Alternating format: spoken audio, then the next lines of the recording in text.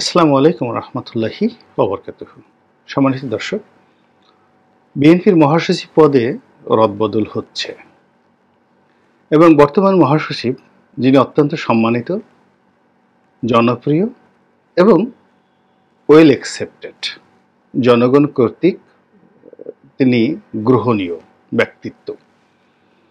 তো তাকে বাদ দিয়ে নতুন একজন মহাসচিব করা হবে। এবং জোরে সোরে যে নামটি নিয়ে আলোচনা হচ্ছে, তিনিও অত্যন্ত আলোচিত, নন্দিত রাজনীতিবিদ এবং বিএনপি রাজনীতিতে তার যথেষ্ট অবদান রয়েছে। বয়সে মির্জা ফখরুল সাহেবের চেয়ে তরুণ, অত্যন্ত শিক্ষিত, মার্জিত এবং তিনি একসময় ম্যাজিস্ট্রেট ছিলেন বিসিএস করা জনাব সালাউদ্দিন আহমেদ, সাবেক যোগাযোগ প্রতিমন্ত্রী। এবং তিনি এই সরকারের যে নিপীড়ন, সেই নিপীড়নের জীবন্ত কিংবদন্তি। এবং তাকে যেভাবে সীমান্ত পার করে দিয়ে ভারতে পুশ করা হয়েছে এবং যেভাবে ভারতে তিনি উদ্ভ্রান্তের মতো ঘুরে বেরিয়ে আইনশৃঙ্খলা রক্ষাকারী বাহিনীর হাতে ধরা পড়ে এখনও সেখানে মামলা মোকদ্দমার মধ্যে দিন যাপন করছেন রাজনীতির ইতিহাসে যে ট্রাজেডি বিয়েগত্মক ঘটনা যদি বাংলাদেশে কারও জীবনে থাকে, এটি সালাউদ্দিন সাহেবের জীবনে ঘটে চলেছে।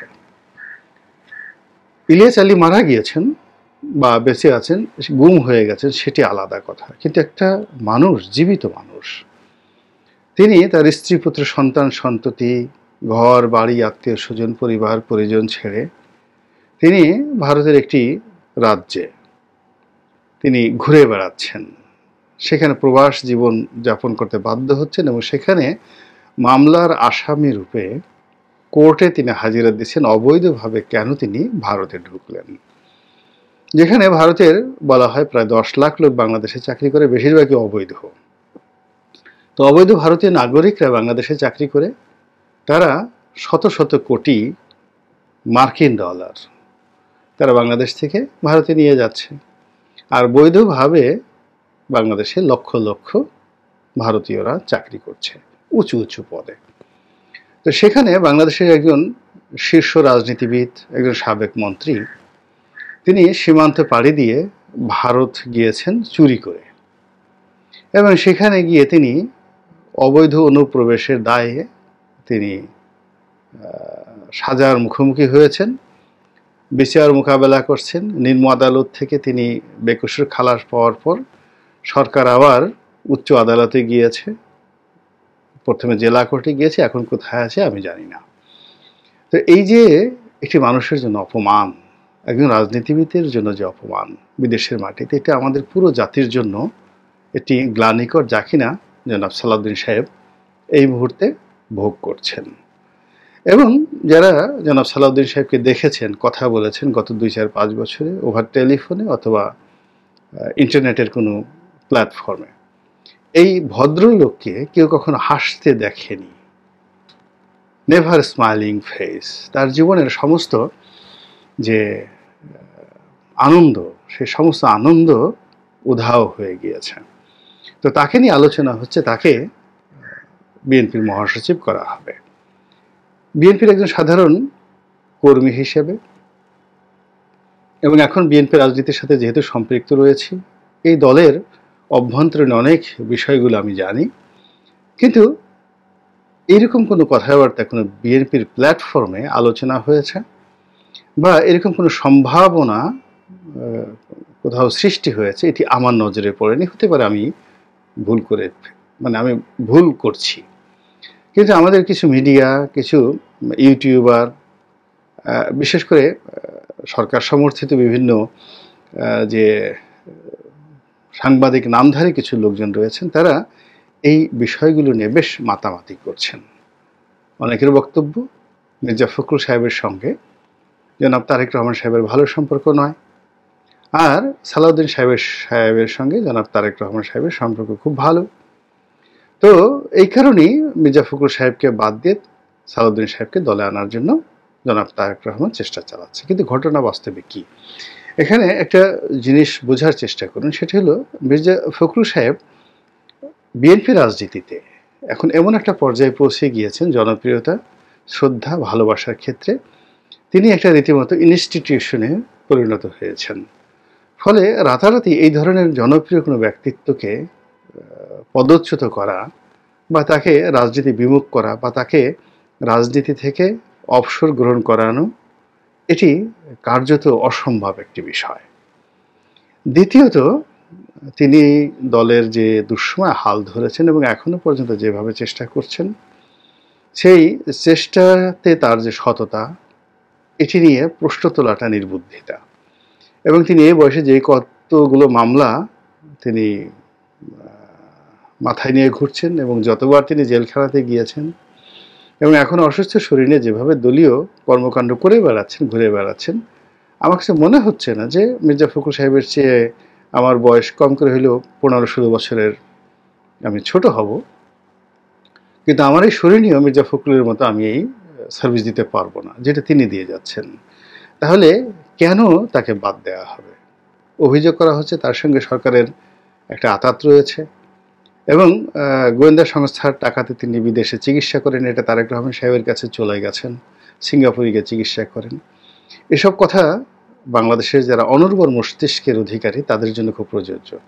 সিঙ্গাপুরে যেখানে লেদু কেদু ধলারা গিয়ে চিকিৎসা করছে, আরে সিঙ্গাপুরে চিকিৎসা করানোর জন্য মির্জা ফখরুলকে কেন সরকার থেকে টাকা নিতে হবে? তার নিজের যেভাবে সামর্থ্য রয়েছে, তার পরিবারের সামর্থ্য রয়েছে, আত্মীয় স্বজন রয়েছে, তার মেয়ে, ছেলেরা, ছেলে নাই, তার মেয়ে, জামাইরা যথেষ্ট ধনবান এবং বিএনপির মধ্যে আরও অনেক কোটিপতি কর্মী সমর্থক রয়েছেন যে মহাসচিবের জন্য এক কোটি টাকা খরচ করে বিদেশে চিকিৎসা করিয়ে আনার মতো সামর্থ্যবান নেতা এবং কর্মী বিএনপিতে অনেক রয়েছে এবং যারা দশ পায়ে দাঁড়িয়ে আছেন মির্জা ফখরুল সাহেবকে সাহায্য করার জন্য। তো সেখানে তিনি সরকারের কাছ থেকে পাঁচ লাখ, দশ লাখ, বিশ লাখ টাকা নিয়ে সেখানে যাবেন। এই সকল কথাবার্তা যারা বলেন সাধারণত নিম্ন মস্তিষ্কের, নিম্ন মন মানসিকতার এবং নিম্ন পরিবেশ থেকে এসছেন। এটি গেল এক। দুই নম্বর হলো জনাব সালাউদ্দিন সাহেব। এই মুহূর্তে তাকে যদি রাজনীতি করতে হয় ইমিডিয়েটলি বাংলাদেশে আসতে হবে। নিঃসন্দেহে তারুণ্যের দিক থেকে জনাব সালাউদ্দিন সাহেব, মির্জা ফখরুল সাহেবের চেয়ে সামর্থ্যবান। তিনি যদি মাঠে রাজনীতি করেন, তিনি আরও বেশি দৌড়াদৌড়ি করতে পারবেন। কিন্তু যেটি হচ্ছে, সেটি হলো এই মুহূর্তে সরাসরি সরকারের টার্গেটেড হয়ে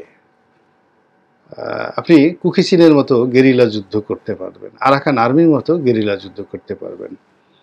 তো বিএনপি যদি আওয়ামী লীগের বিরুদ্ধে গেরিলা যুদ্ধ করতে চায় সেক্ষেত্রে দেখা যাচ্ছে যে জনাব সালাউদ্দিন সাহেব যদি সেই গেরিলা কমান্ডার হিসেবে ভারতে থেকে যুদ্ধ পরিচালনা করতে চান, তাহলে তিনি অনেক কিছু করতে পারেন। এটা তার জন্য নিরাপদ।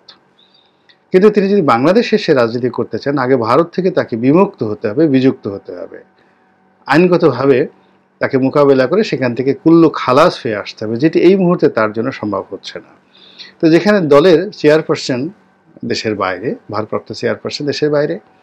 তার সাধারণ সম্পাদকও যদি দেশের বাইরে থাকে, তাহলে দলের অবস্থা, এখন যে অবস্থা আছে, তার চেয়ে খারাপ হবে।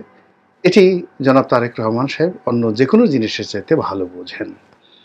দুই নম্বর হলো যে তিনি যদি সেই আইনগত বাধ্যবাধকতা ছাড়িয়ে বাংলাদেশে এসেও তিনি দলের মহাসচিব হতে চান তাহলেও তাকে মির্জা ফখরুল সাহেবের সাহায্য লাগবে অন্তত পক্ষে এক বছর।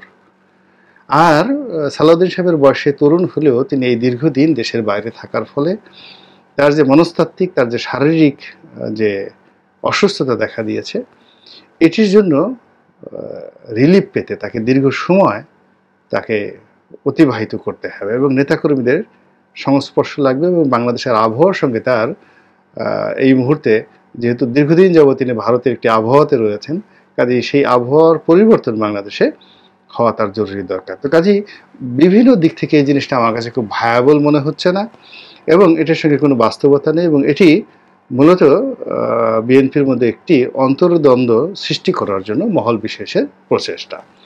কিন্তু এতে কিন্তু উপকারও হচ্ছে।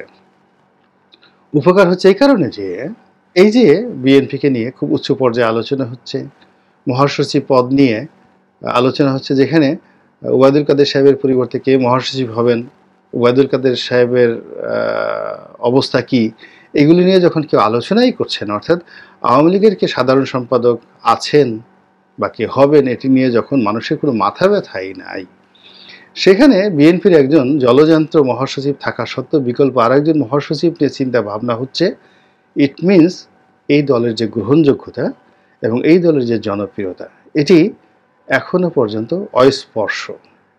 মানে এটি স্পর্শ করার ক্ষমতা আওয়ামী লীগ বা তাদের যারা লোকজন রয়েছে, তাদের নেই। ফলে কি হচ্ছে? বিএনপির যে রাজনীতি, এটি আবার ঘুরে দাঁড়ানোর সম্ভাবনা দেখা দিয়েছে। এবং যে জনপ্রিয়তা নিয়ে বিএনপি এখন মাঠে রয়েছে, নেতৃত্বের যে হতাশা রয়েছে এবং পুরো বাংলাদেশের গণতন্ত্র এবং রাজনীতিতে যে সুনামি চলছে, এই সুনামির মধ্যে যে কোনো সময় যে কোনো ঘটনা ঘটে যেতে পারে। তো সেক্ষেত্রে সবচেয়ে বড় রাজনীতি হলো জনগণের মনের মধ্যে থাকা, জনগণের মস্তিষ্কের মধ্যে থাকা এবং জনগণের আলাপ আলোচনার মধ্যে থাকা যা কিনা বিএনপি এই মুহূর্তে আছে। এর ফলে কি হচ্ছে? বিএনপির মহাসচিব সালাউদ্দিন সাহেব হবেন? নাকি ডক্টর মহিন খান হবেন, নাকি মির্জা ফখরুলই থাকবেন? এটিকে বিরোধীরা যতই নেতিবাচক অর্থে প্রচার করুন না কেন আলটিমেটলি বিএনপির জন্য এটি ইতিবাচক ফল বয়ে নিয়ে আসছে আর আওয়ামী লীগের জন্য এটি আরও তুচ্ছ এবং তাচ্ছিলের কারণ হয়ে দাঁড়াচ্ছে। আল্লাহ আমাদের সবাইকে হেদায়ত দান করুন এবং হেফাজত করুন। আসসালামু আলাইকুম রহমতুল্লাহি ওবরকাতুহ